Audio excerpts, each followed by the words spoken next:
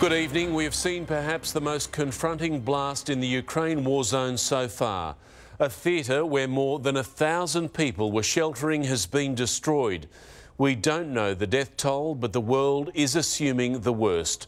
An atrocity that was enough for the US president to brand Vladimir Putin a war criminal. And though there are signs a peace deal may come, the reality on the ground is beyond distressing and growing worse. A theatre sheltering civilians. Ukraine says as many as 1,200 were there when Russia dropped a bomb. This was inside merely days ago. Trapped families with no way out, hiding in the building, even branding their desperation to the sky. These words say children, a human plea to spare them. Instead, mass slaughter. The Red Cross has called Mariupol apocalyptic.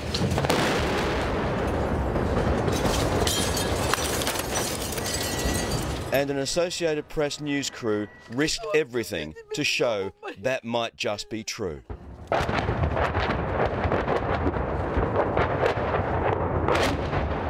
The battle to save lives while fearing your own.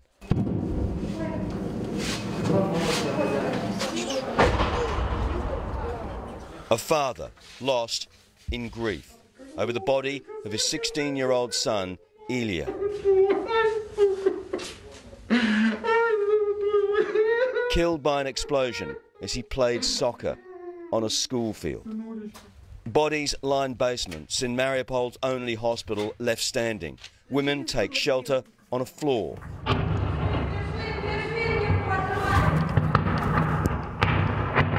Above ground, every simple act, charging phones, a life and death choice.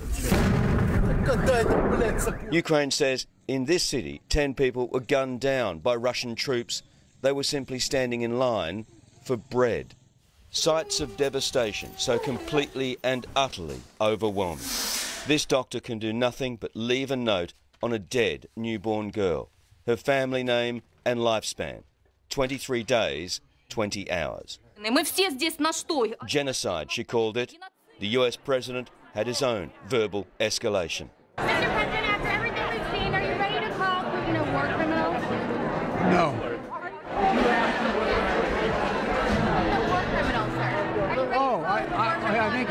Be and before America's Congress, Ukraine's president said it was like September 11 and Pearl Harbor for three weeks daily. Innocent people were attacked, attacked from air. Our country experienced the same every day. Renewing his plea for a no fly zone to end Putin's war. On the ground, peace doesn't seem possible, but Russia's foreign minister now says it could be in sight. Claiming there are concrete proposals close to agreement. Talk of Ukraine taking neutral status, similar to countries like Austria and Sweden.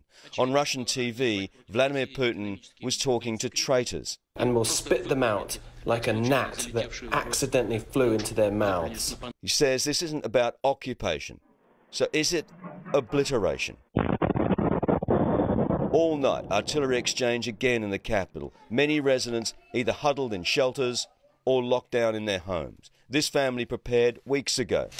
The windows taped, they've adapted to war. Uni via Zoom, just like with COVID.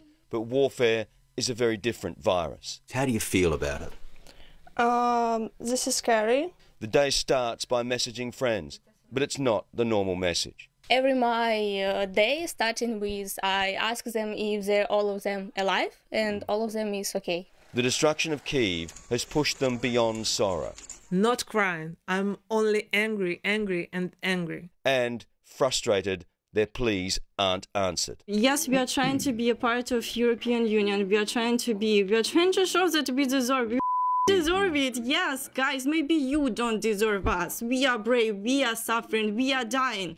We have to be begging for 20 days to give that airplanes. The whole city shut down, highways and streets deserted. Kiev city officials have effectively ruled there are only two reasons to be outside during this curfew. The first is to be protecting your city like this. The second is to be running for a bomb shelter. But they haven't detailed why.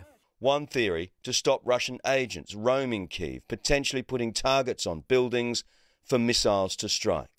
In besieged Mariupol, these are the lucky ones. 20,000 have now managed to escape. A private Red Cross convoy, trying not to look back. And Chris Reason is live in Kiev once again, where, Chris, that 35 hour curfew has just lifted.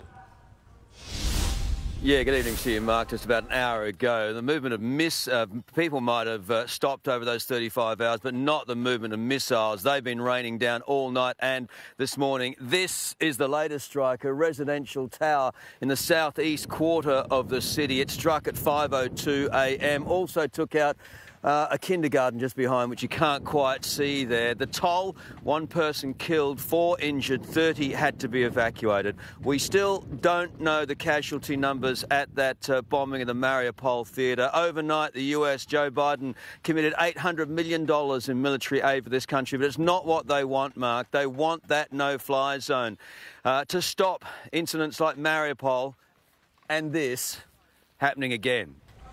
Chris Reason in Kiev for us. Thank you.